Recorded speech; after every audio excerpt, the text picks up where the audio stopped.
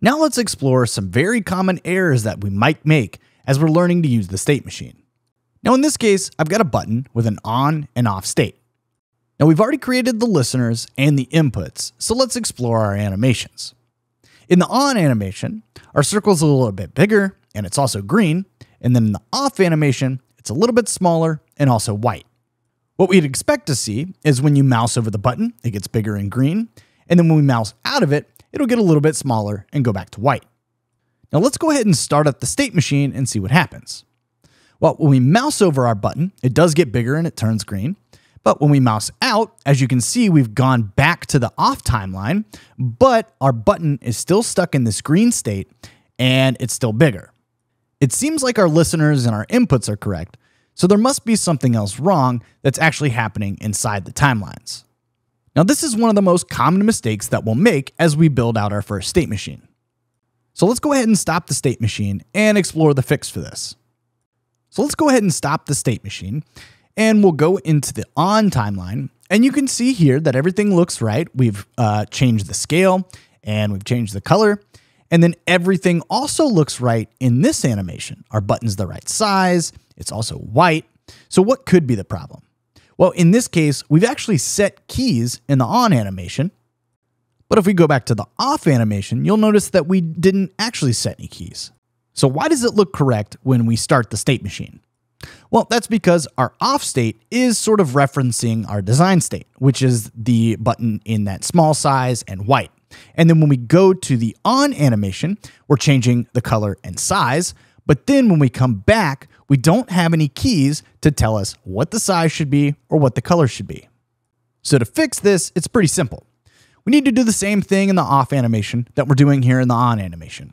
We need to set some keys for the scale, and we need to set some keys for the color. So let's go ahead and set those scale keys. And then we'll also set a key to make sure that we can return to this color. Now you can see we've got the same types of keys that we have in both the on and off uh, states. So now if we go back to our state machine and play it, everything should work just like we expect. Our button gets bigger, and then when we mouse out, it gets smaller. Now let's look at another example. In this case, we have three different timelines that'll play in order.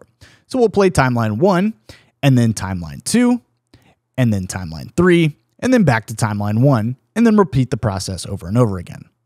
Now in timeline one, we have our rectangle that's appearing, and then in timeline two, it disappears, and then timeline three, it reappears.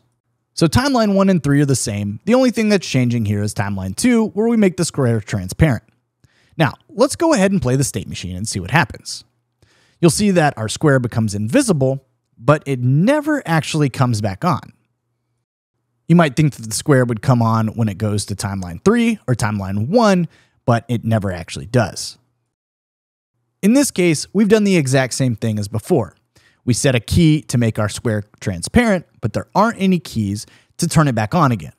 The first state is referencing our design state. The second, we make a change.